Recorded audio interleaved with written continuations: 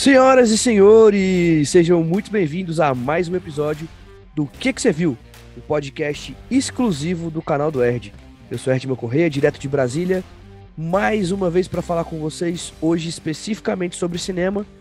Vamos falar de alguns filmes do Oscar e sobre o novo filme daquele que nunca foi, mas sempre volta. E hoje aqui comigo para falar sobre esses filmes, meu querido amigo Brunão. E aí, Brunão, como é que você tá, meu velho? E aí, Ed? Eu tô muito bem, e tu, mano, essa semana? Cansativa pra caramba. O trabalho essa semana foi chicote no lombo e tudo mais. Foi correria infinita. Mas chegou o dia de gravar. E dia de gravar é dia de empolgação. É dia de empolgação, mas a gente sempre tá falando, né? Que a gente tá cansado, que a semana foi, foi pesada, foi difícil. Se a gente mas... for deixar o cansaço abater a gente, a gente não grava. A gente tem que transformar esse momento no nosso momento de terapia. Ainda mais depois de um desabafo tão forte e profundo como a gente teve no episódio passado. Inclusive, se você está ouvindo esse episódio e não ouviu o episódio anterior, procure o episódio. O nosso desabafo já está disponível aí. Recomendo. Não, tu, tu, falou tudo assim depois da, daquele episódio. Esse é um, um episódio novo para lavar a alma. É um novo. Acho que até uma nova, uma nova etapa aí do, do canal do Ed. Parece ser um, um vídeo qualquer, mas não é um vídeo qualquer, não. A gente ponderou sobre muitas coisas, como o Ed já tinha falado no, no episódio passado, analisamos muitas coisas que estão relacionadas ao podcast e ao canal do YouTube. Uh, mas é isso. Aproveitem o episódio. Esse é o que, que você viu.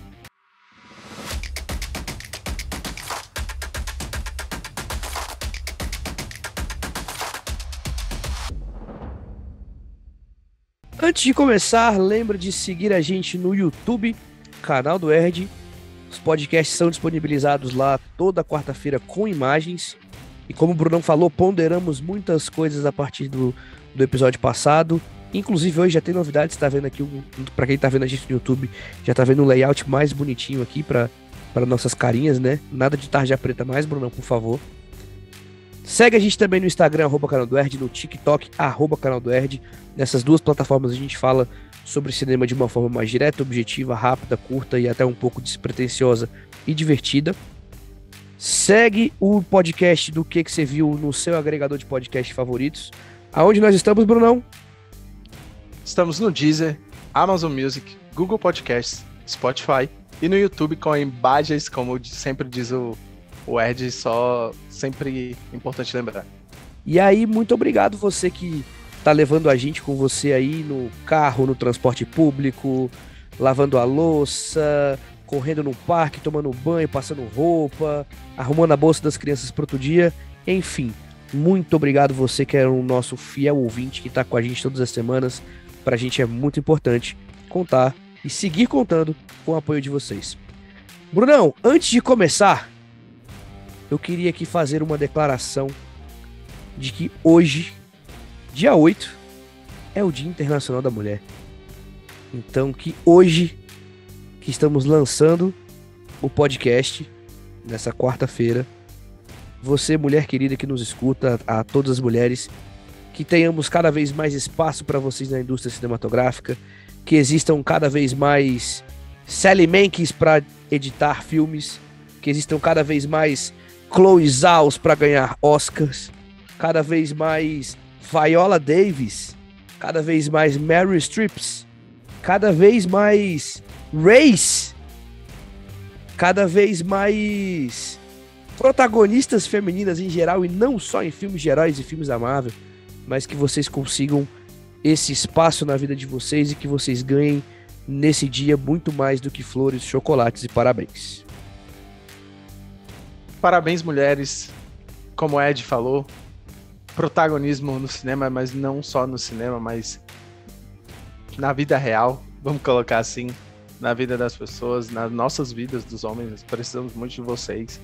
E é isso. Feliz Dia das Mulheres.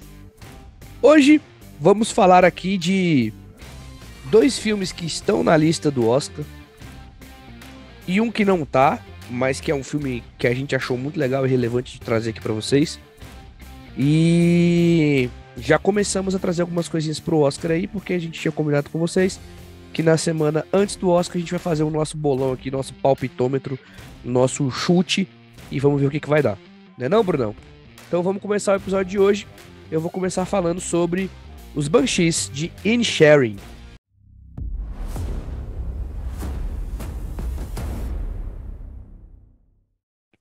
Os Banshees de Inisherin, dirigido por Martin McDonald, traz mais uma, uma parceria, né, do, do Colin Farrell com, esqueci até o nome do cara, velho, Brandon Gleeson, Brandon Gleeson? Ou do, do Gleeson? É o outro ator, sim. É o Brandon Gleeson, né, o Domhnall Gleeson é o filho dele. Uma parceria do Brandon Gleeson com o, o Colin Farrell, que tinha funcionado muito bem no Na Mira do Chefe, um dos primeiros filmes dele que eu vi, que eu achei muito bom, e para mim é um dos filmes mais subestimados, assim, que tem nos últimos anos, porque é um filme muito divertido e que, por ter sido vendido no Brasil com o nome de filme de comédia, foi, foi vendido errado, e aí acabou que aqui ele deu muito errado. Os Banshees de Inisherin contam uma história muito diferente, cara, e muito peculiar, assim. Eu vou até fazer um comentário aqui que muda um pouco o meu gosto, eu até postei isso lá no Instagram, é, eu ainda acho que Tudo em Todo Lugar ao mesmo tempo vai ganhar uma porrada de Oscar. Ainda acho que Tudo em Todo Lugar ao mesmo tempo é o melhor filme para ganhar o Oscar esse ano. É o franco favorito. Mas eu gostei mais de Banshees de Inisherin do que de Tudo em Todo Lugar ao mesmo tempo. Pro meu gosto pessoal, é o tipo de filme que conecta muito mais com a minha forma de, de, de curtir cinema.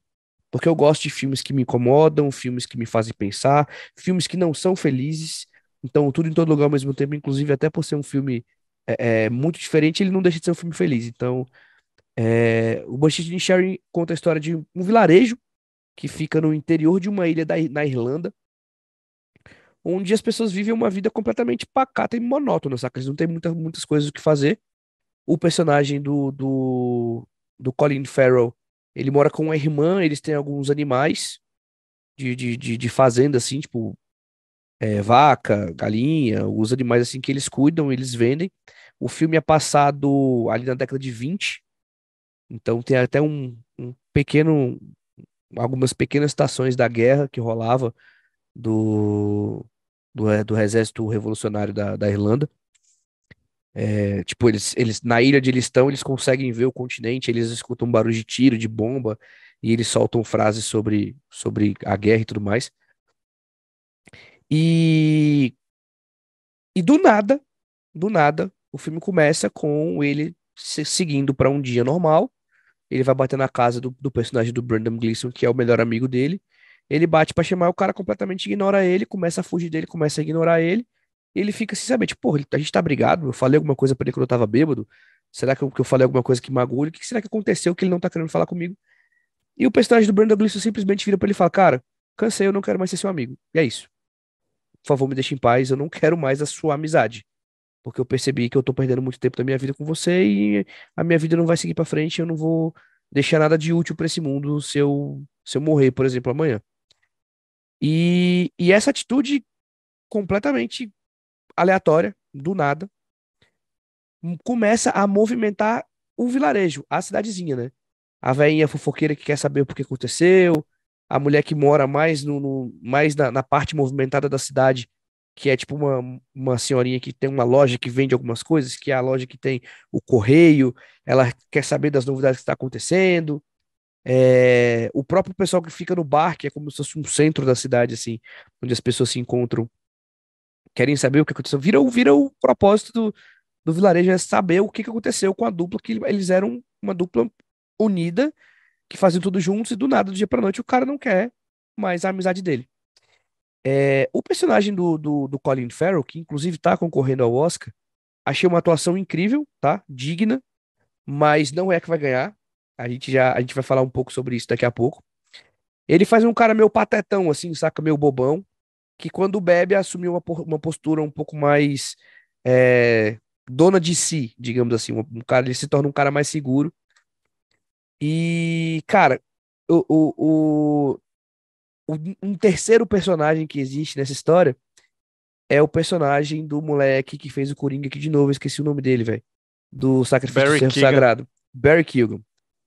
O personagem do Barry Kilgan, ele é um bobão a num nível mais profundo do que o bobão do personagem do Colin Farrell.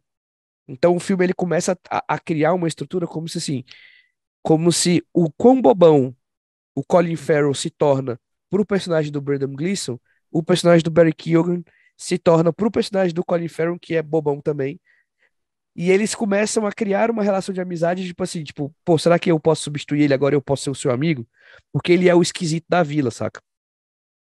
Só que o filme, ele toma, ele toma um caminho muito sombrio em alguns momentos, no meio de uma narrativa cômica. O filme ele não deixa de ser, ele é uma dramédia, só que não é uma dramédia com com batidas de comédia. Ele é uma dramédia com batidas de drama. Chega um determinado momento do filme que o Brandon Gleeson vira assim, cara, escuta só que ele, ele toca violino, ele começa a tocar violino, ele vai pro bar fazer sarau, ele começa a dar aula para uma galera de faculdade, ensinar violino para uma galera de faculdade.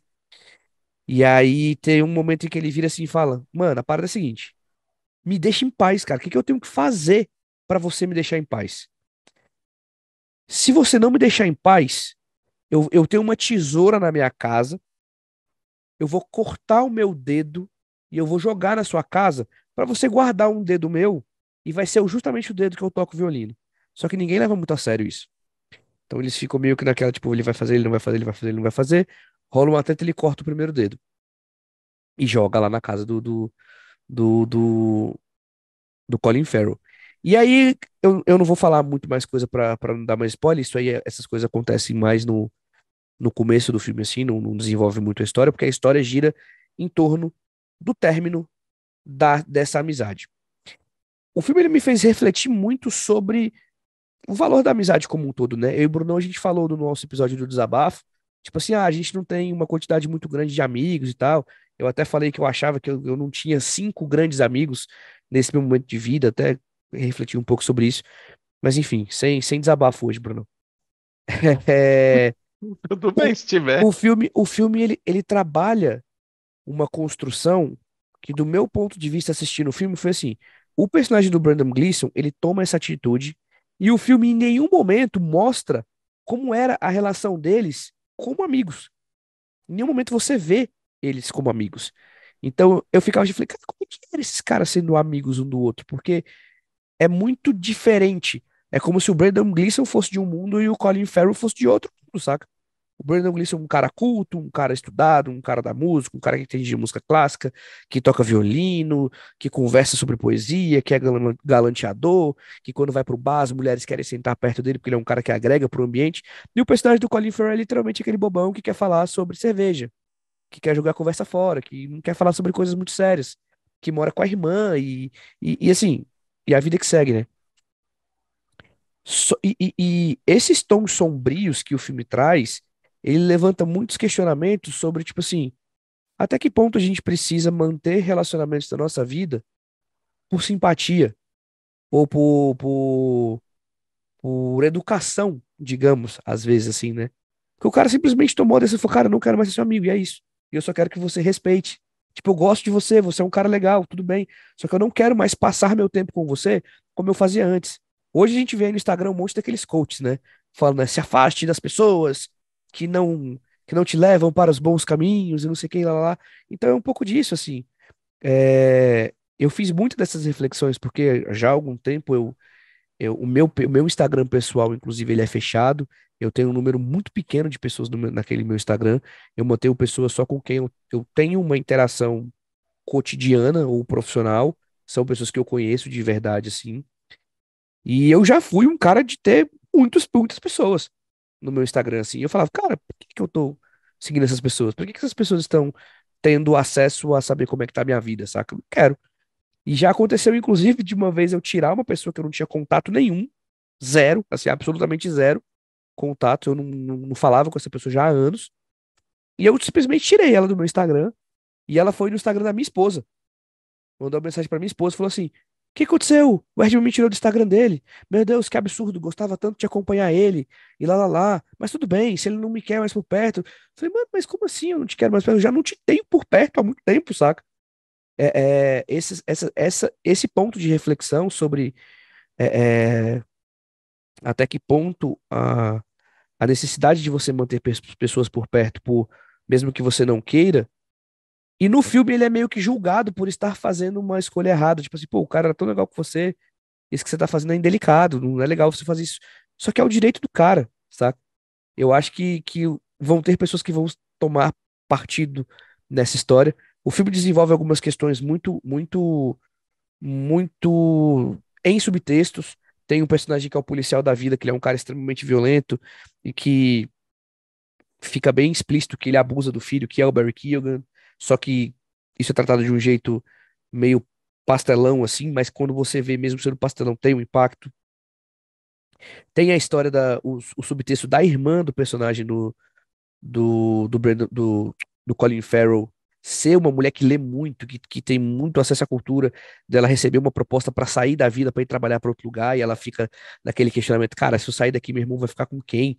Ainda mais agora que o, a única pessoa que era amigo dele não tá mais querendo andar com ele. Então, tipo assim, muitas coisas acontecem ao mesmo tempo. É um filme extremamente bem escrito, é um filme extremamente bonito, visualmente muito bonito. O local onde eles gravam lá na Irlanda, umas paisagens lindas, tem uns planos abertos assim que mostram as, as campinas, assim, as montanhas onde eles ficam, um lago gigantesco, bem bonito assim. E o filme ele começa com essa pegada bem comédia, bem mais pastelona, digamos assim, por conta do tom com qual o personagem do Colin Farrell é, interpreta. É aquele sotaque carregado do irlandês. Aqui, nesse caso, eu acho que é legal assistir o filme é, legendado, porque dublado você perde completamente o trabalho do, do, do sotaque irlandês, que é completamente diferente do sotaque americano. E o filme desenvolve muito para uma pegada sombria, saca? A partir do momento que acontece essa situação do Brandon Gleeson querer cortar o dedo dele para mostrar para ele que, cara, ou você me deixa em paz ou eu vou cortar todos os dedos da minha mão e nunca mais eu vou poder tocar violino, saca? E a história desenvolve muitos subtemas é, pesados, densos, violentos dentro de uma história sobre o fim de uma amizade de uma maneira muito absurda, assim. É, mesmo, é a mesma coisa que, tipo assim, eu cheguei aqui e falar, Brunão, acabou o podcast porque eu não quero mais ser teu amigo. E é isso. Vai viver sua vida que eu vou viver a minha, saca? É, parece simples, mas tem muita coisa a se tirar de, de, de reflexão sobre essa situação. É um filme incrível, estava nos cinemas até pouco tempo, não sei se ainda tá assistir daquela minha forma de, de, de acesso de cópia educativa para fins pessoais e de desenvolvimento pessoal, até porque o Oscar tá aí, então de algumas formas a gente tinha que assistir alguns filmes, né, Bruno? Com certeza. É... E é isso, cara, eu acho que é um filme incrível. É, dos filmes que estão concorrendo ao Oscar até agora, é o que mais conversou com, com, com o meu pessoal, assim. É uma coisa que, que eu coloco na minha cabeça, tipo assim, quando eu anoto o filme num caderninho do, do coração, assim, é o tipo de filme que eu falo, cara, eu queria ter feito esse filme. Tipo assim, tudo em todo lugar ao mesmo tempo. É um filme que eu acho incrível, maravilhoso, fantástico. Assistiria várias vezes, indico para todo mundo. Mas não é um filme que eu, pensando como alguém que, que faz cinema também, não é um filme que, que me abrilhantaria os olhos eu ter pensado aquela história e eu ter feito esse filme. Os Banshees de Inisherin já é um filme que, que eu pensei, caraca, eu queria ter feito esse filme, eu queria ter feito essa história do, sobre o fim de uma amizade, assim, saca? Conversou mais com com o meu eu particular. Então fica aí sugestão para quem não viu. Incrível. Se você já assistiu, deixa aqui nos comentários no, no YouTube quem está assistindo a gente com imagens. Deixa nos comentários falando o que você achou. Se você está só acompanhando a gente pelo, pelo seu agregador de áudio favorito, depois vai lá e deixa seu comentário.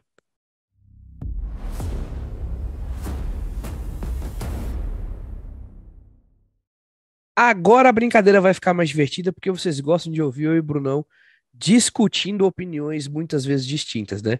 Acho que hoje vai ser menos impactante, né, Brunão? Porque pelo pouquíssimo que a gente conversou sobre esses dois filmes que a gente vai começar agora, comentar agora, acho que ba bateu bastante o que a gente acha. Primeiro, vamos falar sobre, como eu falei na abertura, o retorno daquele que nunca foi, né? Que ele some, aparece, some, aparece é um cara muito polêmico. É um cara que com certeza é 8 ou 80. Estou falando de M. Night Shyamalan e o seu novo filme Batem a Porta. Manda aí, Brunão. Lança a braba. A gente ainda vai fazer um episódio comentando sobre o, o Shyamalan, Shyamalan, como você quiser chamar. Porque, como a gente falou, os filmes dele são muito 8 ou 80, né? Tem gente que ama, tem gente que odeia, e ainda vamos comentar todos os filmes, toda a filmografia do, do Shyamalan. Mas falando sobre Batem a Porta, para a gente começar a comentar sobre ele, vou dar uma pequena descrição do filme. Uma família aluga uma cabana assim no, afastada no meio da floresta para poder curtir e terem privacidade e tudo mais. É um, um casal gay que tem uma filhinha adotada e tudo mais. E essa filhinha tá brincando no, no quintal, assim, não, no quintal não, tá brincando perto da cabana quando chega um grupo de pessoas e esse grupo de pessoas deixa a menininha entrar para dentro de casa e ela encontra os pais e a criança avisa para os pais que chegou um grupo de pessoas. Esse grupo de pessoas chega e fala para a família que eles vão ter que fazer uma terrível escolha de matar entre um deles para salvar uma né? de sacrificar, Fazer não o é uma ótima palavra, né? Porque muda todo o, o, o, a, a questão emblemática da história, né? Colocar o sacrifício de um deles, né?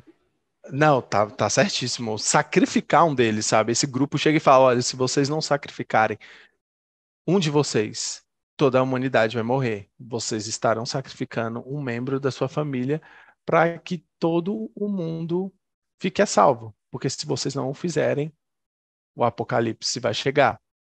E aí, cara, essa é, é uma das melhores premissas assim que, que eu vi no, nos últimos tempos, sabe? Foi uma coisa que você assiste o trailer e, e pega a premissa no trailer e você fica, caralho, eu preciso ver esse filme, eu preciso ver o que, que tá acontecendo, o que, que vai acontecer. Inclusive, a gente comentou no dia que a gente viu o trailer, a gente conversou e falou, mano, eu preciso desse filme na minha mesa agora, velho.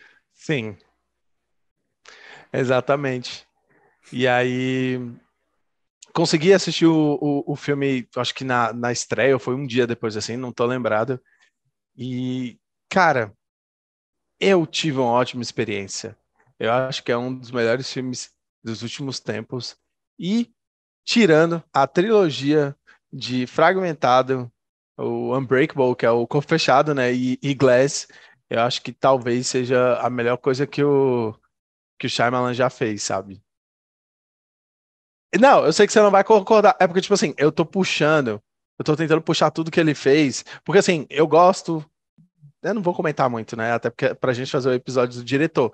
Mas todos os filmes dele eu gosto, mas tem uns que eu gosto bem menos do que outros. Só vou comentar isso. Então eu vou fazer, e... eu vou fazer dois comentários bem rápidos, assim, então, só pra, pra gente seguir. Não queimar a pauta. Pra não queimar a pauta. E vai dar corte isso aqui, hein? Porque agora eu já vou falar aqui um negócio para vocês. Teremos um canal de corte do que, que você viu pra gente poder trazer aqui nossos momentos, nossos momentos mais polêmicos, engraçados, divertidos e de entretenimento e comunicação que a gente traz aqui para vocês. É, em breve teremos esse canal, para até para quem fala, ah, não gosto de podcast, ah, é uma hora, não sei o quê, ah, eu não quero ouvir porque eu não consigo escutar. Enfim, não vai ter mais desculpa. O que eu ia falar é o seguinte, velho. O Shyamalan tem mais de 10 filmes, mas para mim ele só tem um filme ruim e esse filme se chama O Último Mestre do Ar. Tirando esse filme, a carreira dele é perfeita, tá? Minha opinião. Mas a gente vai, vai mais, mais a fundo sobre isso. Eu entendo a sua empolgação com Batem a Porta, porque eu também fiquei empolgado. Só que, pensando no filme para vir falar no podcast, eu comecei a refletir sobre a própria vida, porque eu imaginei que você fosse trazer, tipo, aonde você encaixaria ele no universo. E eu concordo com você em relação ao, a fragmentado, corpo fechado e vidro, mas eu acho que tem pelo menos três filmes, eu não vou falar quais, tem pelo menos três filmes que batem a porta não é melhor. E assim, eu comparo, eu consigo comparar muito em relação à colocação de filmes, os filmes do Shyamalan até como com os filmes do Tarantino. Por exemplo, se eu virar para você e falar que o filme do Tarantino que eu menos gosto, que eu colocaria em último de todos os que ele lançou, seria Django. Django Livre. Não significa que Django Livre seja um filme ruim. Ô, louco, todos, mas todos, o Django lá embaixo. Porque todos os filmes do Tarantino é muito foda. Só que é eu, verdade. numa ordem minha, colocaria o Django em último. É um dos filmes que, não sei. Quando a gente for falar de Tarantino, eu, eu discuto mais sobre isso, assim. Mas é a mesma coisa com esse caso, assim. De todos os filmes do, do, do, do Shyamalan, que não são muitos, né? Deve ter o quê? 10, 11 filmes, mais ou menos ali. Ele seria o nono. Mas o que não significa que seja um filme ruim. Ainda assim, é um filme muito bom. Extremamente bom. Para mim, o, o, o, o, a grande questão do, do, do, do, Não vou falar, não, não vou queimar a pauta, não. Chega. Já falei demais. Tô queimando pauta de Shyamalan aqui. Pode seguir teu raciocínio do filme aí que depois eu, depois eu venho.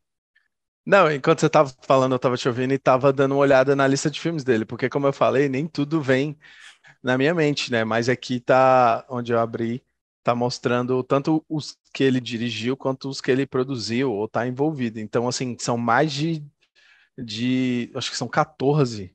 É, eu, eu imaginei algo assim. Pois é, e aí, assim, pelo que eu tô dando uma olhada aqui, eu mantenho, eu mantenho o que eu falei. De boa. Sobre, sobre o. Esse filme é muito bom também, mas não vamos queimar a pauta. Esse filme é muito bom também. Olhando a listinha assim, né? Sim, exatamente. não vamos lembrar, queimar né? a pauta, não vamos queimar a pauta. Não vamos queimar a pauta. Vamos, vamos soltar. Bora soltar uma enquete de diretores no, no Instagram? Bora.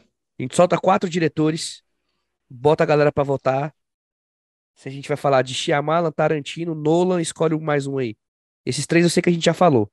Porque são três filmes com poucos filmes. Pode ser só os três, né? Três diretores com poucos filmes, é. É. Acho que Deixa precisa mais um. Não, acho que tá bom esses três. Se eu pensar né? em algum, assim, que, que tenha. Tarantino, Nolan e Shyamalan pra gente fazer um episódio especial falando só deles. Beleza. E a gente organiza, a gente faz na ordem. Do mais votado pro menos votado vai ser a ordem de, de lançamento. É só o que vai definir. A gente vai fazer dos três. A gente só faz a Ah. ordem de lançamento. Pronto. Show. Fechado. Vai lá no. Instagram, já está lá no Instagram agora, se você está ouvindo a gente hoje, quarta-feira, no dia que lançou, a enquete já tá lá. Se você está ouvindo a gente depois, provavelmente a enquete já até saiu, mas, né, enfim. Participe! Deixe nos Por seus favor. comentários aqui no, no, no YouTube. Segue lá, Bruno. Vamos voltar a falar um pouco mais do filme pra gente destrinchar nossas, nossas opiniões. É, dispersamos um pouco. Mas dispersamos dentro do universo Shyamalan. É, Não, com certeza. Não com certeza. fomos pro multiverso da loucura dessa vez. Amém, né? Porra. E pro multiverso da loucura. Quero não, velho. Filme... Não quero revisitar esse filme horroroso. Então, comentando um pouco mais sobre o filme. Comentando um pouco mais, não. Comentando sobre o filme. Cara, eu amei o filme. As atuações são muito boas e, e uma coisa Incrível. que me surpreendeu, me falando em termos de atuação, foi o, o Dave Batista, cara. Incrível. Foi algo que, Eu ia falar isso também. sim, Incrível. Caraca, foi, foi algo muito louco, porque assim, nós sabemos que do, do comentando rapidinho, porque isso é, é dispensar um pouco também, mas nós sabemos de que todo mundo que saiu assim da WWE, o que mais fez sucesso de longe é o The Rock, até porque o Batista vem chegando agora e tudo mais assim nos últimos 10 anos. E, cara, mas é, é muito bom saber que, apesar do Batista estar chegando por agora, comendo pelas beiradas e tudo mais, ele já atua muito melhor que o The Rock, cara, porque o The Rock, ele é carisma, só que ele não é um grande ator, sabe? Ele é um cara que realmente chama as pessoas pro cinema, porque as pessoas gostam do The Rock, principalmente lá no- nos Estados Unidos, né, que ele era um ídolo da WWE, mas quem não é ídolo na WWE, né, pelo amor de Deus. Mas se você for lembrar de outras pessoas, tipo o Stone Cold, o Steve Austin, que também foi fazer filme, ninguém lembra dele, Ah, teve também o John, John Cena, que Cena. também tá, Tá Tá, tá comendo pelas beiradas. É, não, ele tá muito bem no Peacemaker, mas é outro que come pelas beiradas e tá chegando aos poucos. Mas também não é um grande ator, mas o Batista já é o melhor, sabe? E ele tá muito bem nesse filme. Cara, como, como eu acho muito foda a presença dele, mesmo sendo um personagem que, que teoricamente não era pra ter presença nenhuma, sabe? Ele é, ele é só tipo um, um professor de escola de educação física, um cara bem sei lá, um- uma- não é uma pessoa que você olharia e fala, caraca, esse cara se destaca pela presença que ele tem, seja uma presença ou ameaçado, ameaçado, ames, Ameaçadora. ameaçadora, ou uma quase não sai, ou uma presença é, de você olha e fala, caraca, que cara forte. Não, ele, mesmo ele sendo grande, você olha pra ele e você vê uma criança, até pelo diálogo que tem no começo do filme. Mas enfim, voltando. Deixa Como só, eu já comentei. Deixa só apro aproveitar essa questão do, do Batista Claro, claro. pra gente fechar nele, já que a gente já tá falando dele.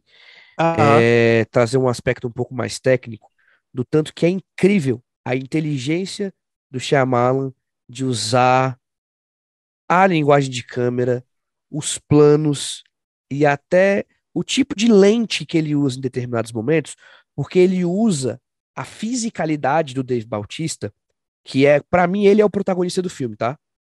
Os outros, por mais que o que gira em torno dos outros, pra mim, ele é o protagonista do filme, porque ele é o líder ali do grupo, ele é o cara que toma as ações, ele é um dos primeiros personagens que aparece, as melhores cenas e os melhores diálogos são com ele, e assim, você vê, tipo, a cena em que ele tá pegando grilo com a menininha no começo do filme, aí ele vai colocar o grilo na mão da menininha, o, o, o, o, o, o coloca uma lente grande angular, que ela traz a sensação, quando você aproxima uma, uma lente grande angular de um objeto fixo, ela expande esse objeto, ela- porque ela fica meio, meio com a sensação de, de deformidade, igual quando você brinca com uma GoPro, aquela sensação de olho de peixe. Então você pega a mão dele, fica absurdamente gigantesca em cima da mão dele. Ele usa os, os planos invertidos, que, que a gente chama de plongé e contra-plongé no, no, no cinema, que é tipo assim, uma, uma câmera que tá filmando de baixo para cima uma câmera que tá filmando de cima para baixo. Quando é filmando a chinesinha, a, a menininha, ele coloca a câmera de cima filmando e a menina tá fazendo assim com a cabeça. Ela, tipo, faz quase que ela angula 90 graus a cabeça dela para poder olhar pro Batista. E quando é o contrário, a câmera inverte. Você vê o Batista de baixo para cima, aquele monstrão gigantesco, 3x4, assim, um armário gigantesco, saca? Tem uma cena que, que para mim. tem alguns pontos no filme que, que me incomodaram um pouquinho, que é o que fazem eu não colocar isso, mas depois a gente fala disso. Mas como a gente tá falando do, do- especificamente do Batista, tem uma cena que ele fica. Que, que ele entra num banheiro por uma determinada situação e a gente escuta um barulho de janela quebrando. E aí o pessoal fala: Caraca, ele fugiu pela janela, vamos ter que. Vamos ver se, se ele saiu daqui ou não. E quando eles abrem, eu falei, mano, impossível o Batista ter saído por aquela janela, tá ligado? O cara é tipo um basculante redondo, assim, foi, ele ia estar entalado ali, igual um desenho do Tom Jerry, tá ligado? Então, assim, é, é- e é muito inteligente a sacada do Shyamalan de trazer, porque poderia ser qualquer pessoa.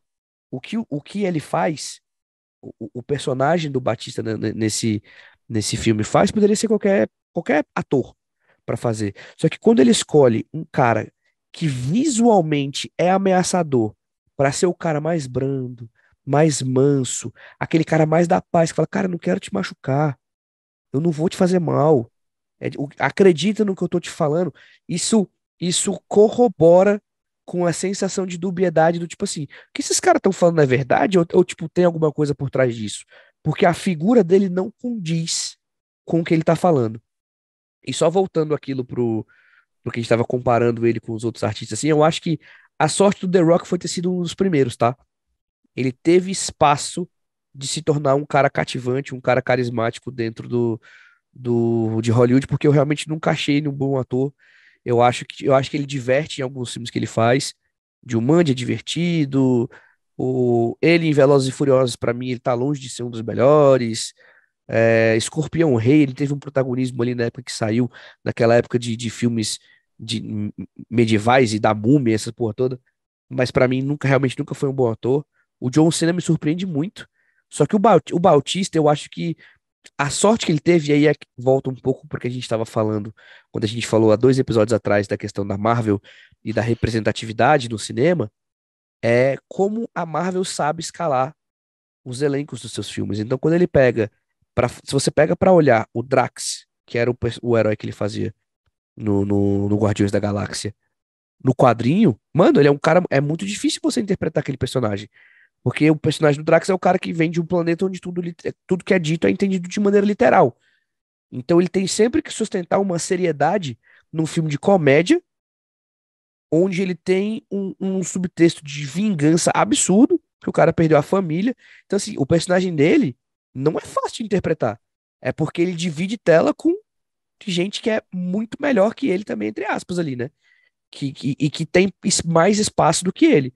Mas o personagem dele é muito mais difícil de interpretar, por exemplo, que o Peter Quill, no meu, no, no meu ponto de vista. Em relação Uhum. a, a, a background de personagem, assim. Estudar um personagem para transformar, se transformar num personagem, fazer um Peter Quill é mais fácil do que fazer um Drax. Se você for parar para analisar o que que os dois universos têm de, de, de, de dificuldade mesmo, né? Então era só só para fechar um pouco esse contexto assim. Ele, ele para mim, ele rouba o filme. Esse filme é do Dave Bautista. Provavelmente é até a, a, chance, a grande chance que ele queria, né? Porque achei interessante trazer o Guardiões, porque ele, ele hoje em dia renega os Guardiões. Ele fala que ele estava doido para filmar o último, acabar esse contrato, porque ele não queria mais fazer o Drax. Talvez nunca, não, não lembro se ele falou que nunca queria ter feito desde o começo o, o Drax, mas foi o que abriu as portas, cara. E eu acho que. Eu é acho. Eu acho que o Dave Bautista é time Scorsese. É, provavelmente é mesmo, até porque ele comentou, né, que esses filmes são idiotas. Ele falou que os filmes da Marvel são meio idiotas, assim, depois que ele gravou e a participação dele já, já tinha ido no Guardiões 3. Eu até fiquei meio, assim, meio bolado com ele, não que isso vai interferir em alguma coisa na vida dele, mas eu fiquei bolado porque, tipo, ele tava cuspindo no prato que comeu, porque, é, cara, foi amável. Isso eu acho Isso eu achei paia. Isso eu acho paia. Ele Pois é, ele tava cuspindo no prato que comeu e foi a Marvel que abriu as portas para ele, cara. Não, não tenha dúvidas, não foi a WWE, porque tudo bem que por ele ter a popularidade lá no WWE, isso abriu uma janelinha, abriu a, a, a sair aquela portinha. Abriu de, o basculante de... da, da parede. É, né? da parede, exatamente. abriu aquela janelinha minúscula que ele quase não passa mas ele passou e hoje ele tá aí com as portas abertas. Mas voltando pro filme, cara, e só, a e premissa só, é muito... E só, e só pra... Desculpa te interromper de novo, tá de mas boa. assim, essa questão de, de, de, ele ter cuspido no prato que ele comeu, tipo, ele fez o, o primeiro Guardiões da Galáxia, que é de 2014, e o fato dele ter feito o Guardiões da Galáxia, mano, isso abriu espaço, inclusive, para ele fazer participações em filmes off mundo de super-heróis, saca? Ele tem uma parte, ele tem uma relevância com o personagem. É secundário, mas é um personagem relevante dentro do 007 Spectre. Ele tem um personagem em Duna, ele tem personagem em Blade Runner 2049, ele tem personagem agora no, no nesse filme da, da do, do o Glass Onion? O ele Glass, aparece lá também, é, né? É, ele tem participação nesse filme agora também. E assim, claro, ele tem que aproveitar as oportunidades porque ele, a carreira dele se, se assemelha muito, inclusive, com a do The Rock, né?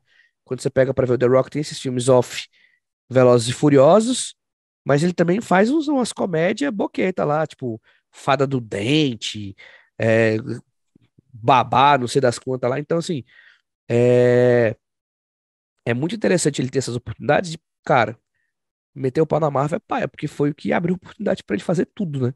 Então, Sim. sei, foi, foi meio viagem. Pois é, cara, eu, eu achei muito paia da parte dele. Mas vamos, vamos voltar pro filme. Cara, a premissa do filme é maravilhosa, como eu comentei antes, que a, assim, o filme segue com a, com, a, com, com a história de que o mundo vai acabar se eles não escolherem, só que enquanto eles não escolhem, o grupo do Batista, que são quatro pessoas, né, com ele? Quatro pessoas. Ele quatro mais pessoas, três. é, ele mais três, eles avisam a família dão a notícia de que se eles não escolherem, se eles se negarem a escolherem, um deles vai ter que morrer.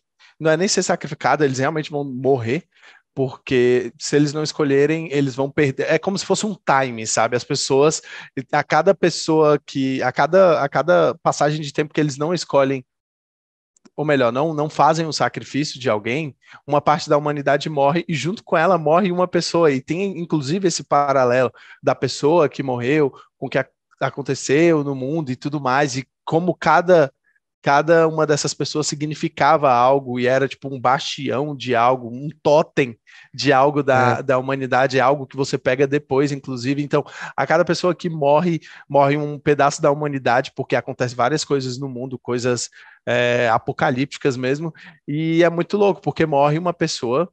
Você, a princípio, pode até nem se importar muito com essa pessoa, mas a gente sabe as histórias dela e vai aprendendo ao longo do filme mais sobre esses personagens. E é muito louco, porque além de ter um passado, de ter um background, esses personagens representam um, um, um conceito um, um, conceito filosófico, um conceito abstrato da mensagem que o, que o filme quer passar, sabe? É muito, eu não digo, eu cara, não digo nem que eu não digo nem que é filosófico, é abstrato, mano. É, é bíblico mesmo, assim, saca? Eu confesso, assim, sem sacanagem. Não, é, é, tipo é, assim, não.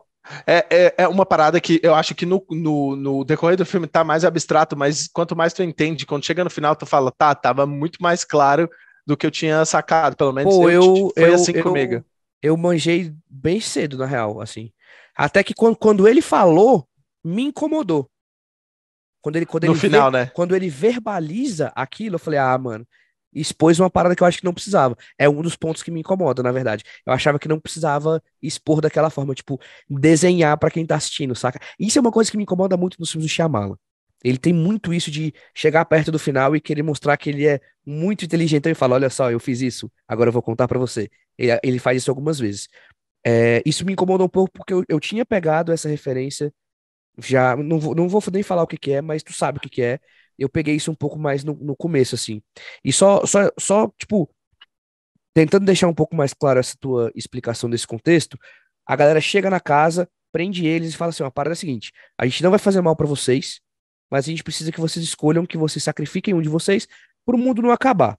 Vocês têm duas opções. Ou vocês tomam essa escolha e salvam o mundo inteiro, ou então, se vocês não tomarem essa escolha, o mundo inteiro vai acabar e só vocês vão ficar vivos no mundo.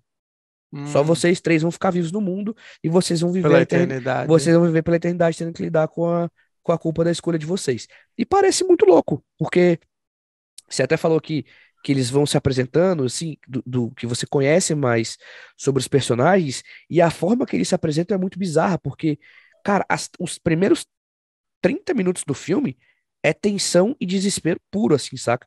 Porque as coisas vão acontecendo e você acha que vai ser mais um filme de home invasion, assim, saca? Tipo, a galera vai invadir uhum. minha casa, vai me torturar, vai fazer mal pra caralho pra mim, depois alguma coisa vai acontecer e a gente vai conseguir fugir. Normalmente os filmes de home invasion é assim. Só que lá eles não estão pra fazer mal para ninguém, né? Mesmo eles estando com armas estranhas, com, com foices, com bolas de ferro, com bastão, com um monte de coisa. É... E eles, a, a, cena em que eles se apresentam é muito doida. É tipo, ah, eu vou primeiro. É, eu sou cozinheira eu moro no, em Nova York e não sei o que, não sei o que. Aí vem o cara, ah, eu sou motorista da empresa de luz em Boston. Aí vem o cara, ah, eu sou professor não sei o que em Chicago. Eu sou, tipo, eles se apresentam para a família que eles acabaram de prender ali, eles ficam tipo olhando e falam, por que que vocês estão se apresentando? Eu não estou entendendo, saca? E eles explicam, ó, a cada vez que vocês disserem não, uma praga vai ser liberta no mundo. E o momento em que essa praga é liberada é quando eles fazem o, o eles se sacrificam ali, né, entre eles, eles se matam ali entre eles e essa praga é liberada. E é muito inteligente a forma que, que o, o, o Shyamalan coloca isso no roteiro, porque o que eu fiquei pensando foi assim, eu falei, tá, vou comprar a ideia de que isso é verdade, porque eu tava na dúvida também, né, do que rolar, falei, vou comprar a ideia de que é verdade, que vai rolar isso. Como é que ele vai provar para essa galera? que isso é verdade. Ou então, assim, de onde esses quatro malucos tiraram que isso é verdade para poder acreditar nisso? E essas respostas são dadas de uma forma muito inteligente, que é usando a televisão, né? TV ao uhum. vivo, jornal ao vivo, CNN passando lá. É, é, tsunami com onda de 45 metros destrói orla da cidade. Aviões começam a cair do nada. E a questão do, do deles justificarem isso com com um sonho, né? Foi é um sonho, uma visão, como é que é? Eu não foi um, foi sonhos e visões, né? Eles falam, acho que eles começam com, com sonhos, depois eles começam a ter as visões assim de, de olhos abertos no, no do nada, assim, sabe? E essas visões meio que guiam eles para se juntar, porque são quatro personagens que são de cidades diferentes.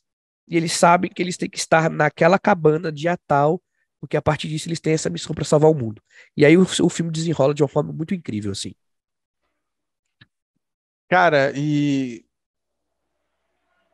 é muito show porque ao longo do, da passagem do filme, além de ter o, os conceitos que a gente falou de ah, uma parte da humanidade morre e porque está acontecendo algo apocalíptico e uma das pessoas morre e elas se relacionam com, com o que está acontecendo e tudo mais, até a personalidade delas e é, enfim, fúria, ódio, essas coisas e tudo mais, o jeito que eles são.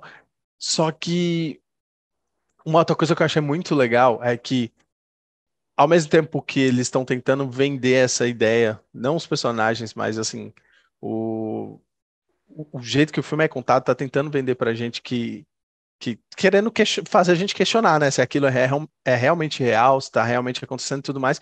Eu acho muito genial que tem uma coisa que, que pode até ser coisa da minha cabeça que chegou no final do filme, apesar de ser tipo bem mascado o filme, você chegando no final, você não precisa ficar indo atrás de lugar nenhum para tipo, ah, explicando o final de eles batem a porta em sete minutos. E se você, precisa. E se você jogar no YouTube, vai ter, tá? Vai ter. Você não precisa, porque é muito mascado.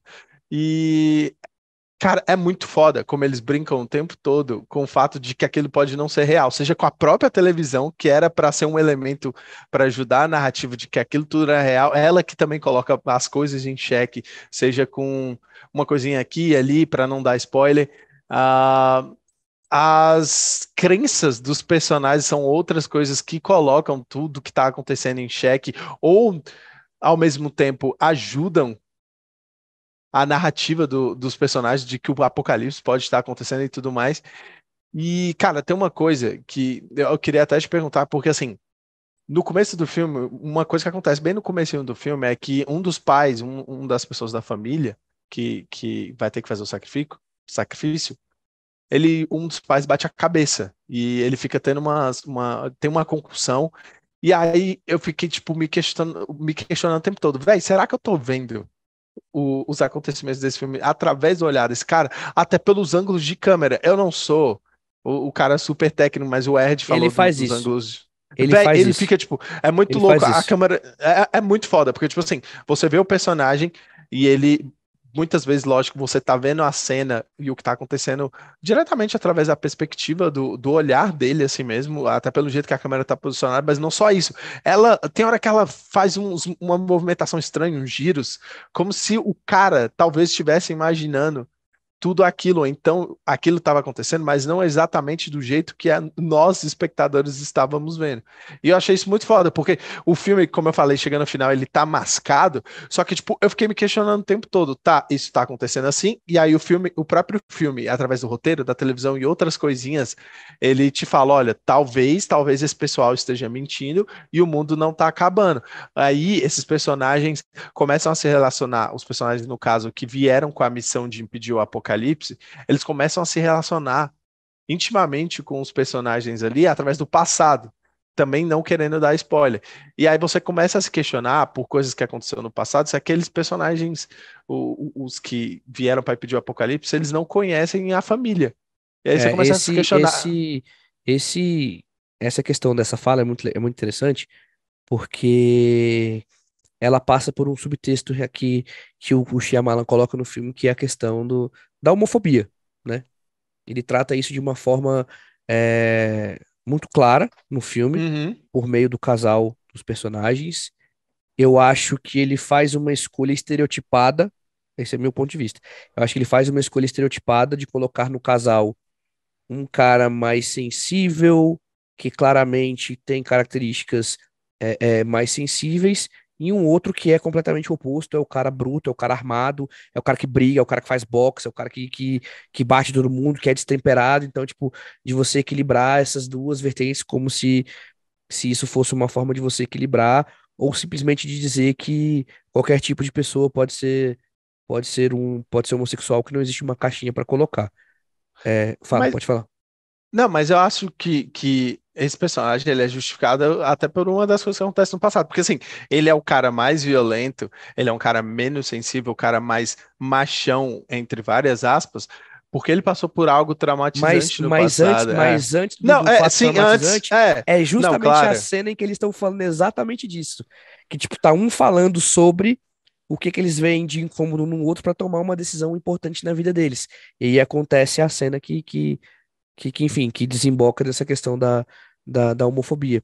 E isso que você está falando da, da, da câmera é, é, é mais um aspecto técnico genial da fotografia do filme, que é a escolha dos planos muito, muito mais próximos, né?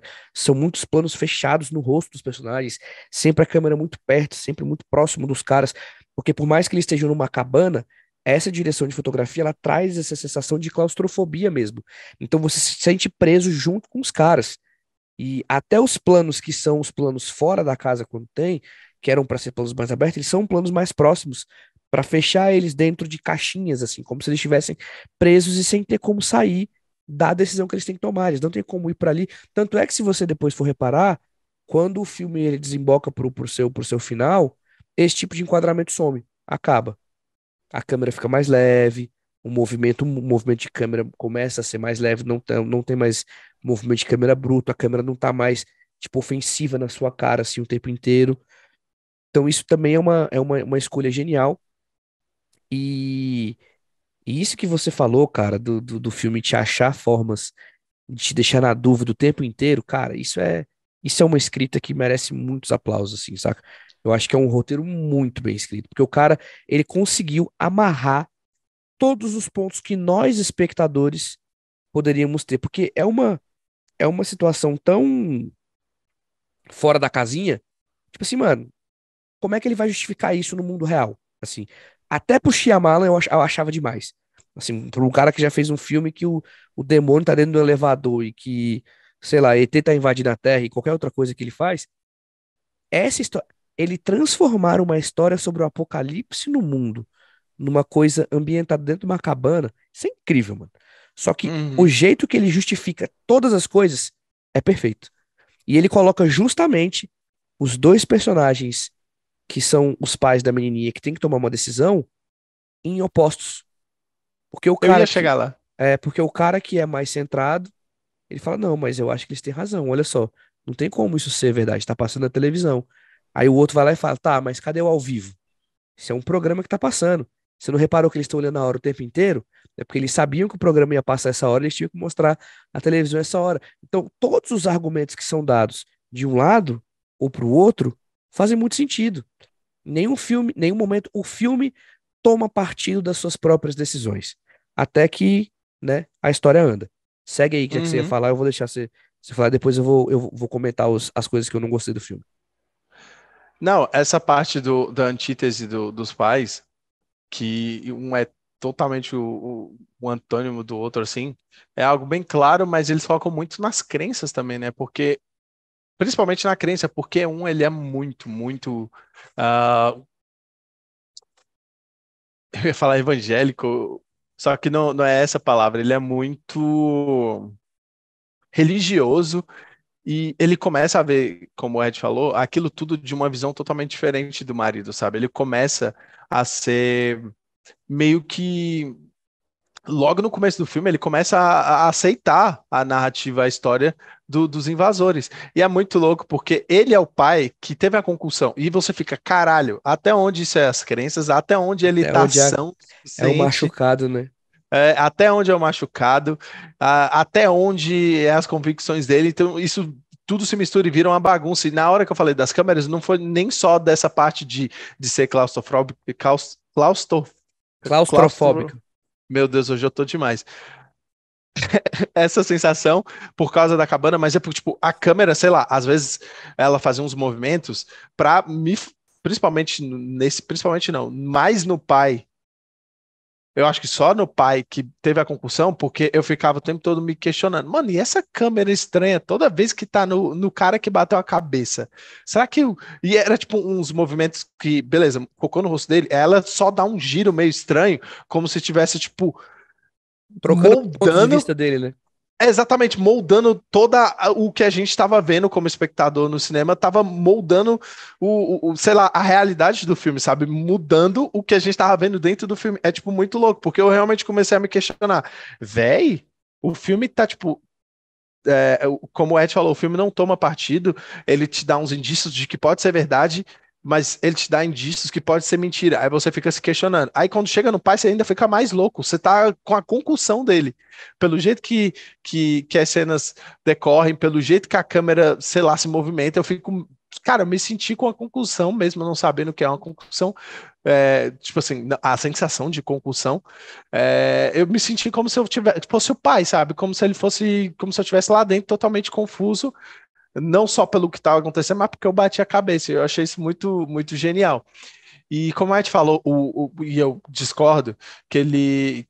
E é uma das coisas que eu não gostei, mas eu acho que não afetou minha experiência tanto quanto é, afetou a tua, provavelmente, é que nos pontos negativos que você vai falar, mas não, eu não acho que, que, que foi perfeito esse esse essa parte do filme não não determinar um lado, porque quando ele começa a revelar mais coisas do, do que está acontecendo, quem são aqueles personagens e tudo mais, ele não amarra tanta coisa quanto eu pensava. Porque assim, tem, tem uma cena que acontece em algo e a gente vê que um dos personagens se relaciona com a família que tá lá. E aí que, quando acontece essa cena mostrando o passado, a gente fica tentando encontrar os outros personagens e a gente mesmo cria o que que como esses outros personagens podem, podem estar relacionados com essa família. Só que não tem nada no filme. Fica eles fazem isso com um personagem e os outros não mostram. A gente fica até na dúvida, porque assim, Cara, é muito difícil comentar sem, sem dar spoiler, mas não vou dar spoiler. Mas foi uma. Eu acho que o Ed sabe do que eu tô falando, mas é uma cena que acontece no passado e mostra como um dos personagens invasores se relaciona com a família. Só que os outros personagens, eles não mostram nada que relaciona eles com a família. Só que dá pra você tirar muita coisa dessa cena que acontece no passado. Só que é tudo é, especulatório. Porque... Na, na, verdade, na verdade, o filme responde isso aí. O filme responde. De todos, de todos, eu, não acho, eu não acho que responde. O filme, não, o filme, ele, o filme ele dá a resposta dele. Não sei se atendeu a tua expectativa. É. Mas, ele, mas ele fala que quem foi o responsável por juntar eles quatro foi o cara. Foi o personagem do Rupert Grint, que é o, o, Harry, o cara do Harry Potter, amigo do Harry Potter lá. Fala, Na verdade, pô, foi ele que abriu, foi ele que abriu o fórum, ele que chamou a gente, não sei o quê. A gente conheceu ele num fórum na internet, não sei o quê. Essa, tipo assim, ele teve um vínculo com os dois no passado e os outros três se juntaram a ele depois disso acontecer. E o, o que parece para mim é que o que aconteceu no passado não tem uma conexão direta com a missão deles de salvar o mundo. Não, não tem. Só que eu tô só falando que, que o filme. Fato, só que o fato dessa coincidência ter acontecido serve para que o personagem de um dos, dos pais use isso como um argumento do tipo assim, eles não estão aqui para salvar o mundo, eles estão aqui porque é uma armadilha pra gente, porque esse cara é o cara que tava lá naquela treta lá do passado e tal. Então, tipo assim, na minha cabeça foi isso, assim. A, a resposta foi, foi meio que isso, assim. A justificativa, né, para essa questão foi isso.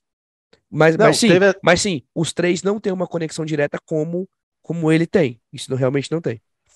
Então, mas é, é, essa é a parte em que o Rupert Grint fala que eles começam a se questionar, tá, a gente se conheceu num blog e tudo mais, mas o Batista até fala, não, a gente se conheceu no blog por causa das visões, não foi tipo, eles se conheceram e depois começou a ter as visões, ele até explica, não, foi uma coincidência o blog e tudo mais, uhum. e aí eu acho que minha, o, o que eu tô querendo, o que eu tô querendo pontuar aqui é que eu acho que poderia também ter tido um indício, ou então mostrado um, uma interação dos outros personagens do grupo com o pessoal do, do da, com a família, sabe? Que isso poderia ir na, na mesma linha do que aconteceu com Rupert Grint, do, do, do cara do Harry Potter, sabe? Se fosse eu, na verdade, eu faria o contrário. Eu tiraria a interação do Rupert Grint com eles, deixaria ele sem nenhum motivo para estar tá lá, e ao invés de usar o Rupert Grint como um argumento para o pessoal que está preso, colocar ao contrário, tipo assim, cara, como é que a gente achou vocês? Então, assim, ou usa o argumento, ou tira todos, a conexão de todos, e não, e não usa isso como argumento nenhum, ou isso explica todos de uma vez, que é aquilo que tu falou, né? Explica que, tipo, cada um teve uma interação com ele de alguma forma para trazer mais um elemento para essa dúvida, assim. Isso eu, nesse aspecto eu concordo você, com você. Poderia ter tido, só que se eu tivesse que escolher, eu ainda preferia que não tivesse nenhuma conexão, deixasse isso ainda mais solto, assim. É... Só que eu acho que seria uma dúvida, seria uma, uma um ponto a menos que, que poderia ser usado no filme para descredibilizar a história do, dele, sabe? Eu acho. Porque, assim, seria, um, seria um ponto para descredibilizar. Mas eles poderiam usar para credibilizar. Só ia mudar o argumento, sacou? Se todos eles têm uma conexão, o casal pode usar isso como um argumento para falar, vocês estão mentindo. Se não tem conexão nenhuma, os invasores podem usar. Como é que a gente achou vocês se a gente nunca nem viu vocês na vida? Entendeu? Então, é o que eu tô te Acho... falando. Seria, seria um ponto a menos pra gente acreditar na, na, na, história deles, entendeu? Porque como é que. Ou melhor, seria, seria um ponto a menos pra família descredibilizar a história deles. Eu acho que seria uma, uma parte do filme que ia faltar. Porque se Sim. foram estranhos chegando lá do nada, eu, tô, eu estaria totalmente mais tendencioso a acreditar neles, porque como é que eles acharam essa família e tudo mais? Agora, se tem todos os personagens com uma interação com eles no passado, a interagir com ele da forma mais com eles com a, da forma mais mínima possível, eu já começo a me questionar, entendeu? Mas é, é muita balança do filme. Eles jogam é, coisas que credibilizam a história e depois jogam coisas que descredibilizam. Mas eu acho que se, tiver, se não tivesse nada disso de ter dos invasores não ter tido nenhuma interação com a família no passado, eu acho que a balança ia pender mais por, tipo, tá, eu acredito mais no, nos invasores do que na família. E que acaba que no fim que ele fica nessa, nessa brincadeira de mostra um lado, mostra o outro, mostra um lado, mostra o outro. No final, o filme toma, acaba tomando um partido no final das contas, né? Uhum. É, como eu disse que ia trazer alguns pontos é, que, que me incomodaram um pouco no filme. É... Deixa eu só comentar isso que vai, tu vai, falou vai, vai, vai, vai, vai, vai, manda. E, no final, como eu falei, o, o filme, eu já tinha, tu comentou agora que ele toma um ponto e chega e explica e tal, como eu falei, é mastigado o final, só que tem uma coisa que me, que foi aquilo que eu falei do, da concussão do pai, que me ficou, me fez questionar as paradas no final, sabe? Eu, eu, tipo assim, o filme, chega no final, ele te entrega justamente a conclusão que, que, que você espera de um filme, tipo, chega no final, você entende o que rolou ali. Só que eu fiquei, cara, será que rolou exatamente desse jeito? Eu queria muito que. E, e eu acho que tem isso no filme da, da, concus, da concussão do pai, te dá uma, uma outra interpretação até do, do, Não só do filme inteiro, mas do final do filme, sabe? Eu não acho, é, não é assim. aleatório, assim. né? É, não, não é, é, aleatório. Não é aleatório. É... O que, que me incomoda no filme?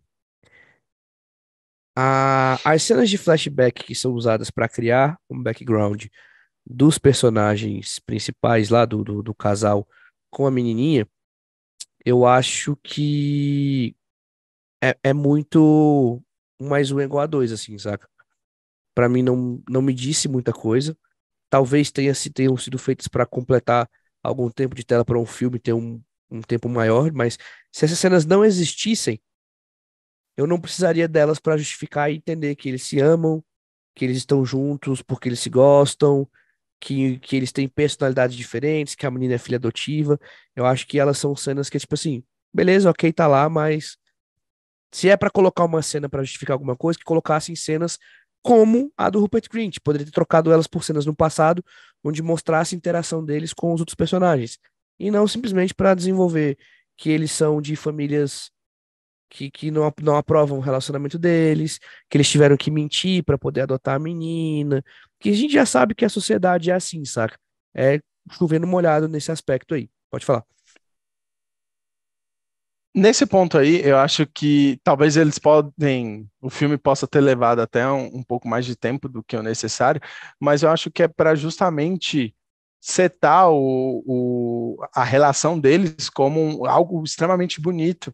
E é até uma crítica social foda de que os relacionamentos homoafetivos e, e o fato deles adotarem uma criança são tão bonitos quanto os relacionamentos uh, heteroafetivos e tudo mais, os relacionamentos que a sociedade está acostumada, porque como tu falou, é muito sobre aceitação. Muita gente não aceita esse tipo de, de, de relação não, não aceita essas pessoas, o que, de novo, nós uh, condenamos aqui esse tipo de pessoa, pessoas homofóbicas, não queremos aqui, vão embora, enfim.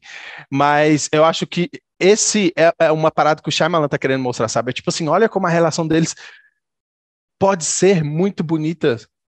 Olha como a relação deles é bonita e vocês não estão vendo. Vocês têm que ver.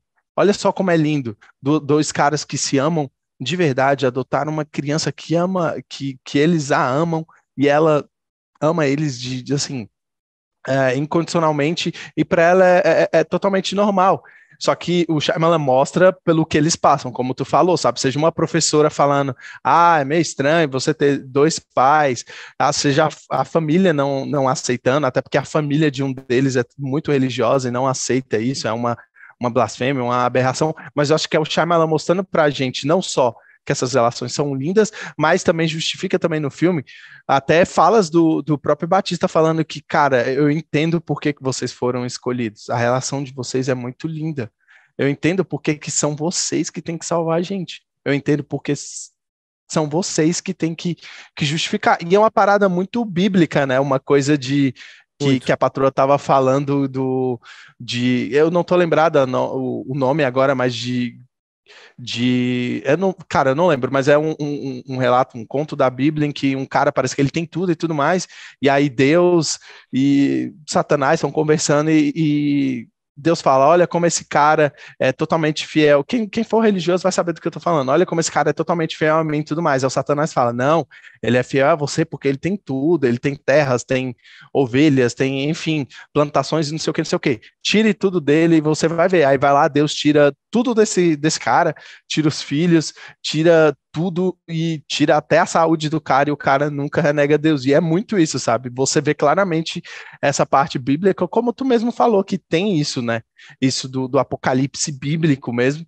E é muito louco, que é, é, basicamente isso, é uma família que tem tudo, tem felicidade, tem amor e, e eles foram justamente escolhidos para serem sacrificados justamente porque eles têm tudo e é muito louco que tem esse paralelo, sabe? Eu acho, eu acho que é, é isso, como eu falei, talvez seja. Talvez o, o filme tenha levado mais tempo do que o necessário para mostrar que eles eram uma família é, diferente das outras.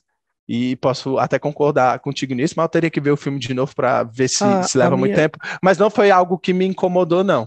Não, não, não é uma questão que me incomoda, assim. Eu só acho que sim. Eu concordo exatamente com tudo que você falou. Eu só acho que ele escolheu fazer isso da forma mais clichê possível. Sabe? Tipo, hum. Tipo, as cenas que ele escolhe mostrar não são cenas que agregam para essa justificativa do tipo, olha como o relacionamento deles é foda.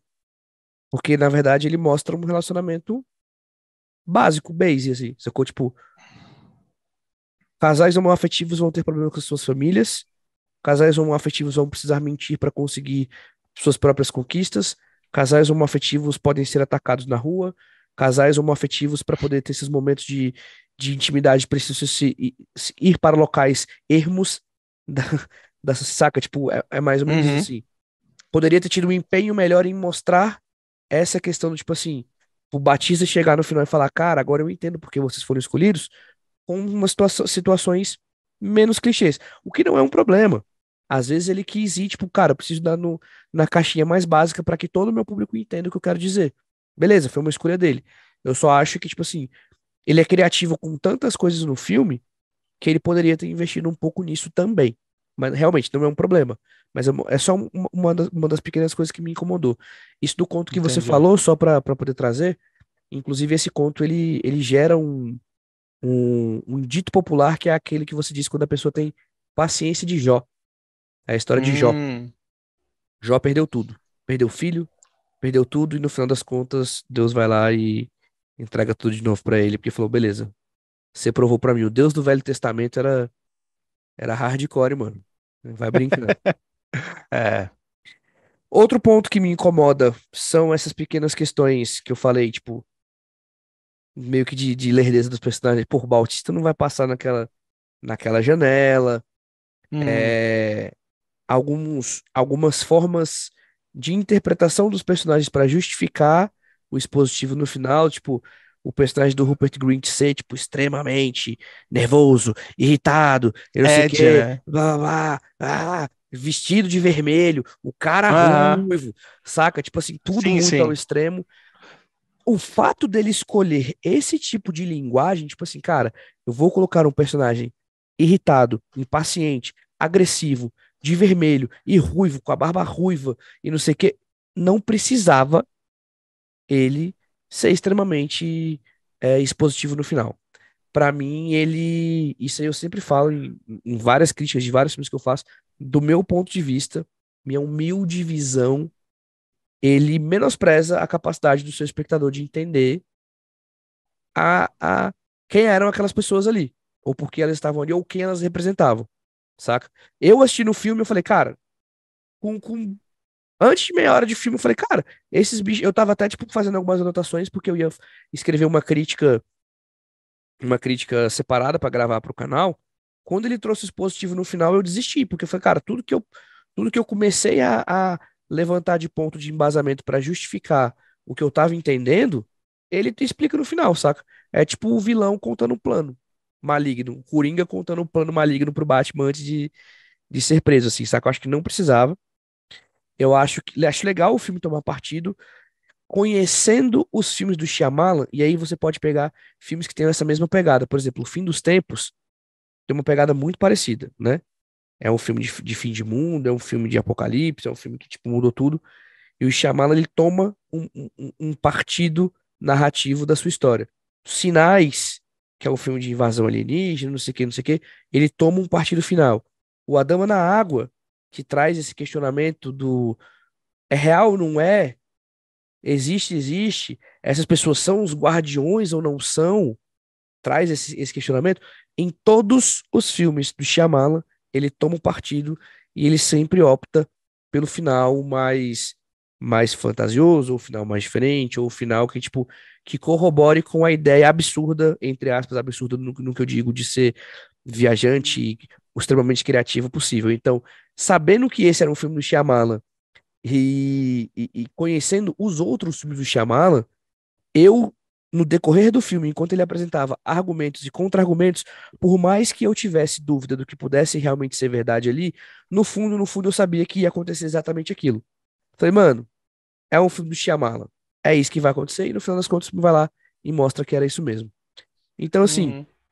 eu acho que o filme tem escolhas muito positivas. É um filme muito bem construído. É um elenco muito forte, muito bom. O Bautista rouba a cena, mas tá todo mundo excelente. O Jonathan Groff tá excelente. O, o, o Rupert Grint tá excelente. Até a chinesinha, velho, que é a menininha mais simplesinha ali, tá excelente. Não tem ninguém que faça que destoe para baixo no filme. Acho que todo mundo cumpre o papel de maneira incrível. É um filme incrível que eu recomendo muito que vocês assistam, por mais que tenha esses pontinhos outros assim que a gente discutiu aqui, que talvez sejam questionáveis. Manda ver, Bruno. É isso, tudo que, que tinha para comentar sobre o filme é, foi comentado a parte da janela eu, eu, acho eu acho aceitável, assim, não foi algo que me incomodou, mas tem realmente isso, não tem como um cara daquele tamanho passar por uma janelinha do banheiro, e ainda mais se se machucar e tudo mais. Só que não, não foi algo que me incomodou assim, não, sabe? Essa cena não me incomodou, e nem a parte que tu falou do, do de ser expositivo, porque assim, o, o, o fato de cada um tá, um dos personagens estar tá representando uma emoção é, isso aí eu realmente peguei. O que eu estava te falando era como eles se relacionavam com o apocalipse, até a ordem que eles morriam e tudo mais, e com as pragas do que estava acontecendo e tudo mais. Isso aí foi uma coisa que, que eu, não peguei, mas que cada um claramente era, como eu falei, um totem de um sentimento, de uma parte da humanidade e tudo mais. E realmente está desde lá do começo. Só que eu levei um tempo para amarrar tudo, assim, sabe? Mas é isso. Isso posto era o que tínhamos a dizer sobre Batem a Porta, de M. Night Shyamalan.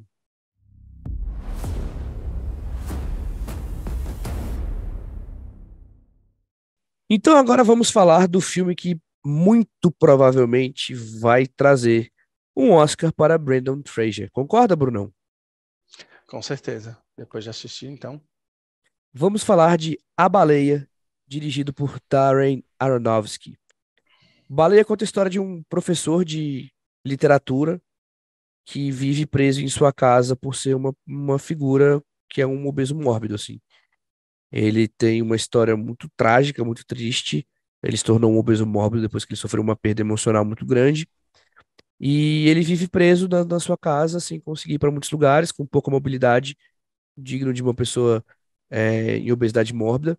Para quem assistiu ou assiste quilos mortais na Discovery lá, os, os personagens do Doutor Nalzaradan, que faz as, as, as operações de bariátrica nas pessoas para elas emagrecerem, é, é aquela figura lá. É um cara que precisa de ajuda para levantar, para fazer tudo, saca? Para 90% das coisas ele precisa de ajuda.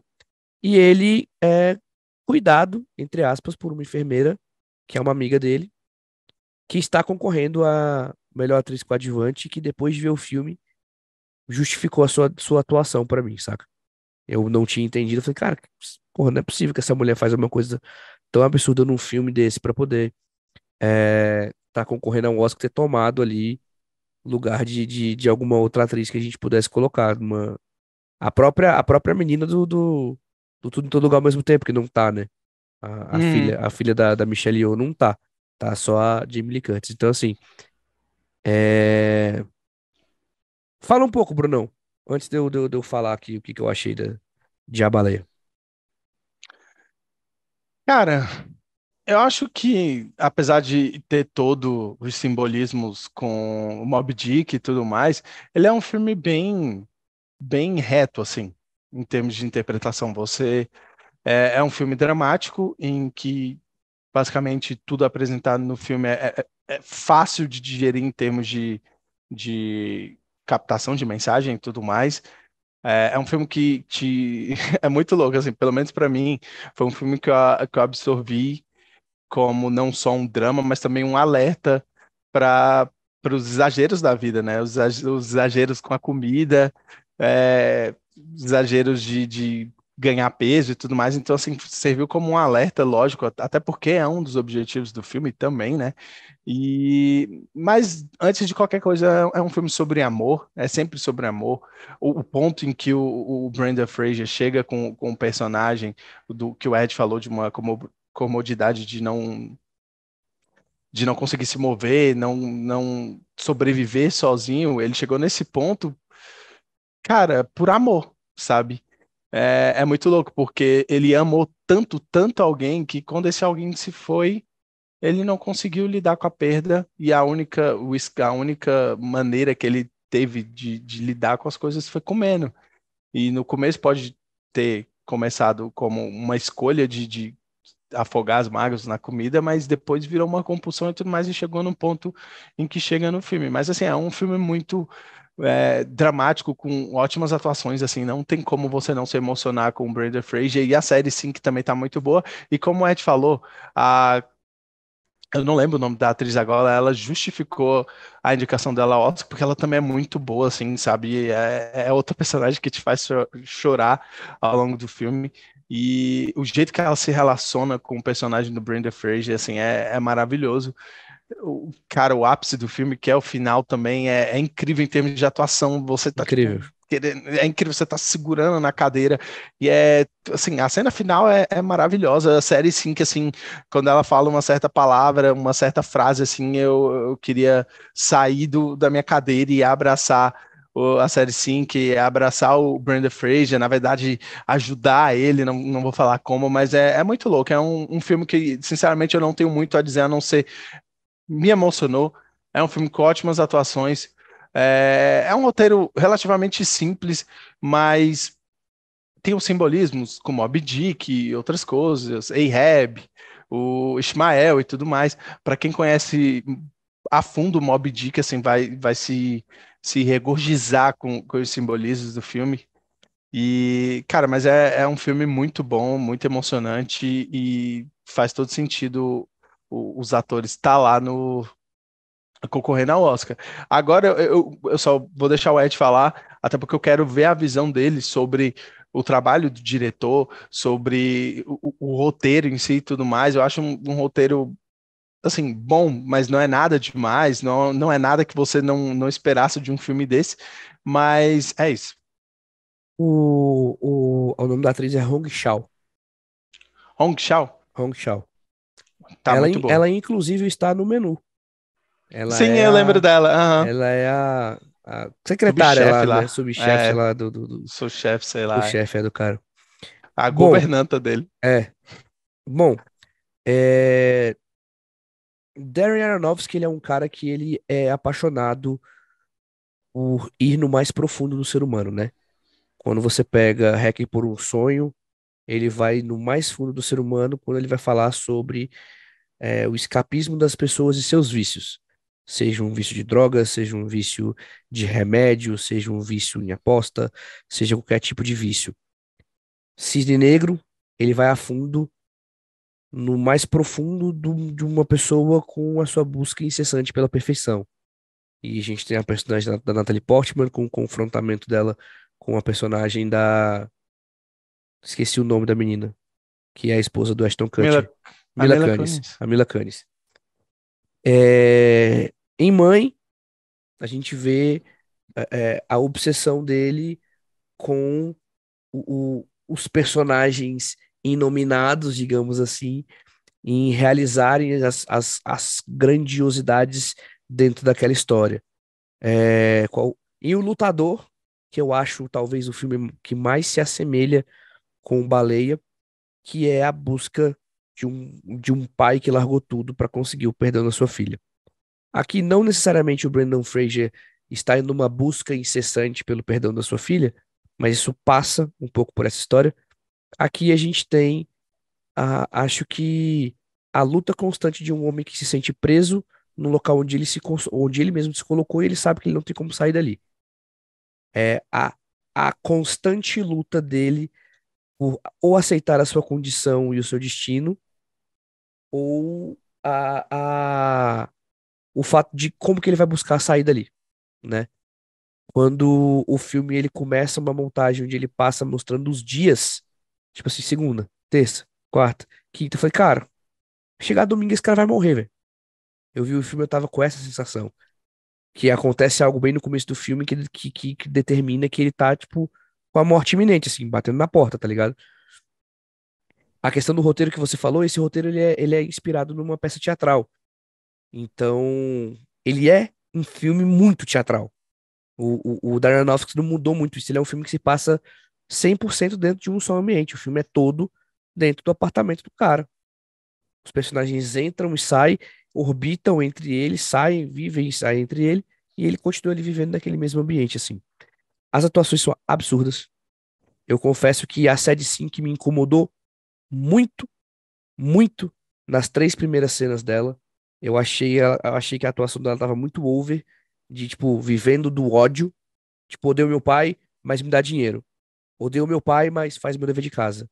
Odeio meu pai, mas vou continuar vindo aqui. Tipo, odeio esse lugar, esse lugar fede. Mas eu vou. Saca, tipo, eu achava meio over, só que eu sentia que ainda tinha alguma coisa por trás da, desse exagero dela. E aí, mano, quando vem a cena final, cara, ó, chega me arrepio. Não dá pra mostrar, já tentei mostrar. Mas chega me arrepio. Aquela cena, ela é absurda se eu sempre tive na minha cabeça que deveria existir uma premiação de cena do ano. E para mim, a cena do ano é a Sad Sink lendo o ensaio do Baleia pro Brendan Fraser, tentando realizar uma ação que ele não consegue fazer no começo do filme. Rola isso. Então, tipo, tem essa essa evolução é muito absurda, tipo, é tudo muito bem construído, saca?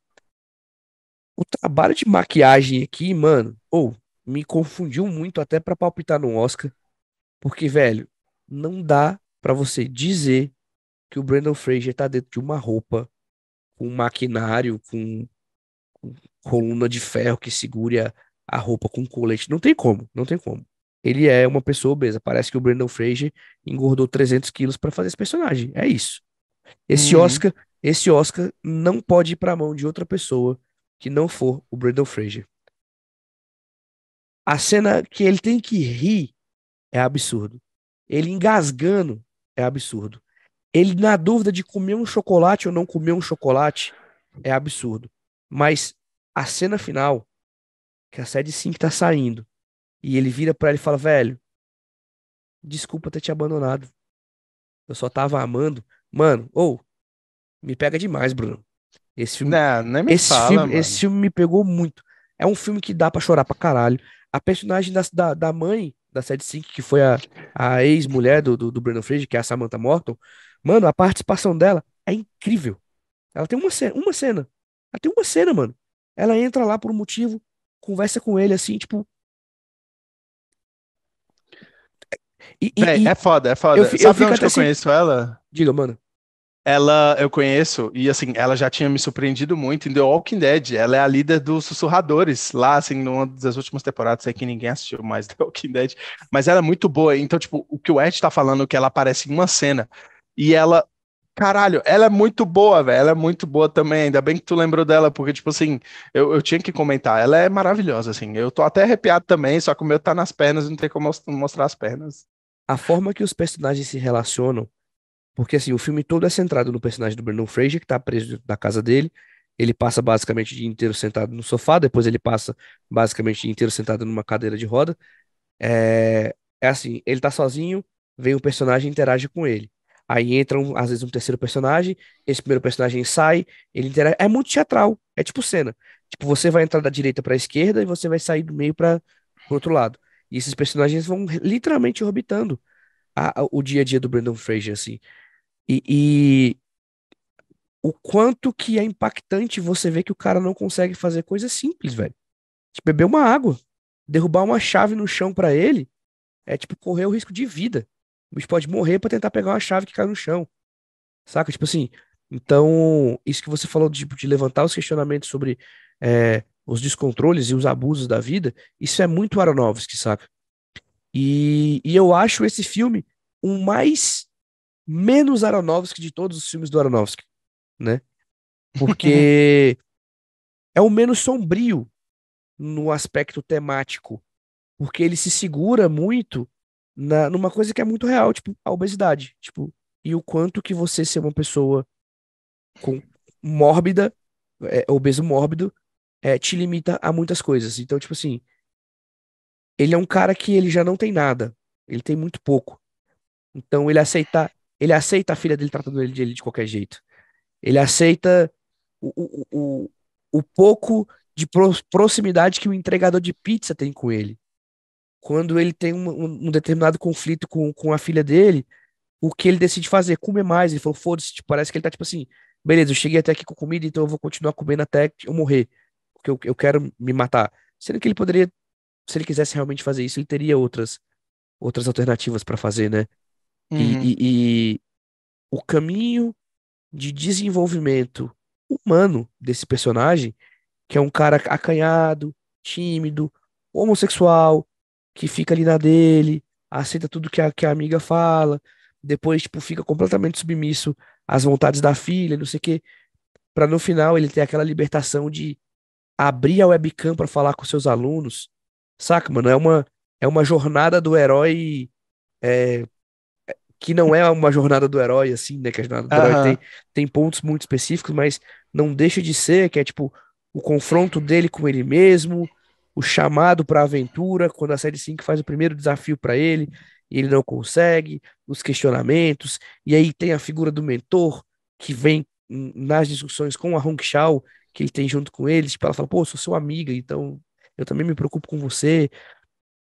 Assim, é, é, tem o personagem do menino da igreja, né? Que aparece do nada para ele, tipo, aleatoriamente, né? Aparece uhum. para ele, não, vim aqui para pregar para você, porque eu sou da igreja X.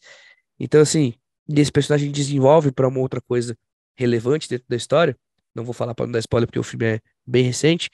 Mas, assim, cara, é um filme que o peso é. É um filme de elenco.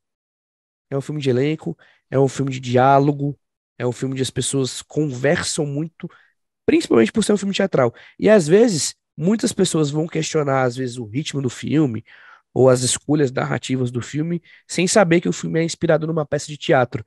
Então, isso é um ponto principal para entender por que, que o filme, às vezes, é até todo desse jeito, né? Num ambiente só, num local só, num cenário só. É um filme incrível, é um filme que. Eu, eu, eu não sei nem por que, que ele tá concorrendo em tão poucos, poucas coisas, saca? Uhum. Eu acho que, assim, cabia um Aronofsky no lugar do James Cameron. Eu acho que cabia um melhor filme no lugar do Avatar. Assim, o Brandon tu Fraser, acha? Eu acho. Eu acho. Tu acha? Eu tenho certeza, mano. Como assim? o, o, Avatar lá com o James Cameron, não, inacreditável. Eu, eu cravo aqui que ele devia estar tá lá. Earl deveria estar no lugar de Avatar. Qualquer é... um, mano. Mas assim, acho que a gente falou tudo que tinha para falar desse filme. Não dá para falar muita coisa sem entrar mais coisa, sem entrar em spoilers de pontos muito sensíveis que mudam muitas chaves de relacionamentos dentro do filme, então eu prefiro encerrar minha, minha participação aqui e dizer que é um filme que vale muito a pena você procurar para assistir, principalmente para poder ver um Braden Fraser aí num, num retorno glorioso, talvez com o melhor personagem da sua carreira até então.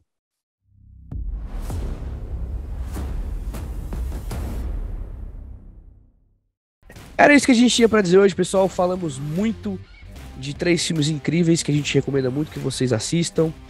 É, lembra de seguir a gente no YouTube, canal do Erd. Lá a gente tem o conteúdo do podcast com imagem. Segue a gente no Instagram, arroba canal do Erd, TikTok, arroba canal do Erd. Segue a gente no seu agregador de podcast favorito. Brunão, mais uma vez, por favor, aonde nós estamos? Estamos no Amazon Music, Deezer, Google Podcasts, Spotify e também no YouTube com imagens.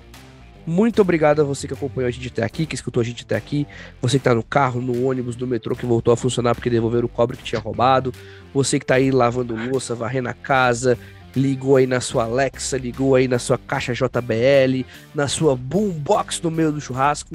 Lembrando mais uma vez, um feliz Dia Internacional da Mulher para você, mulher incrível, mulheres das nossas vidas. Um beijo, um abraço para você, mãe, tia, minha esposa, minha filha, enfim, esposa do Brunão, mãe do Brunão, nossa chefe, sei lá, todo mundo que tá aí ouvindo a gente e nos nossos arredores. Muito obrigado também a você que tá sempre aqui acompanhando a gente. Toda semana um episódio novo. Quer falar alguma coisa, Brunão? Quer deixar a sua mensagem final? Quero, é rapidinho. De, que queremos falou, parabéns a todas as mulheres da nossa vida e as que não estão na nossa vida parabéns especial para as que ouvem o podcast, mas parabéns para todas as mulheres. E é isso. Beijocas.